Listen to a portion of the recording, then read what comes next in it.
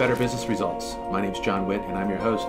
Today, our guest is Mike Cochran. Mike is the CEO and owner of an imaging and branding company with a new offering called A Stitch on Time.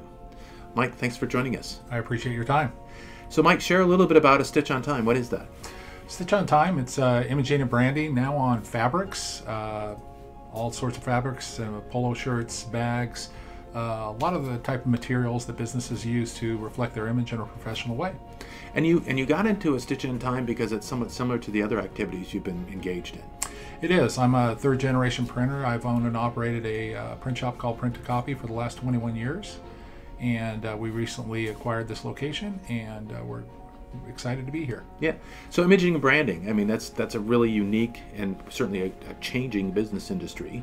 Uh, how, other than being a third generation printer, what else? How else did you get here?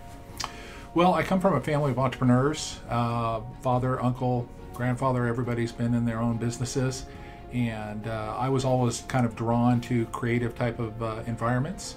And through a series of career changes and stuff, I've uh, evolved into uh, uh, being a full-time printer and now into imaging on uh, apparel. Yeah, so this is sort of how you help make your contribution to others, right? You get to Absolutely. use your creativity. Absolutely, I really enjoy working with uh, a variety of businesses, different vertical markets, seeing how people make money, and uh, feeling feeling good, feeling like I'm part of the group. Yeah, and at the end of the day, it's about people for you. Absolutely, I enjoy working with with folks. Yeah, I, have I've enjoyed our discussions, mm-hmm. and I know that the relationship's are really important. Mm-hmm.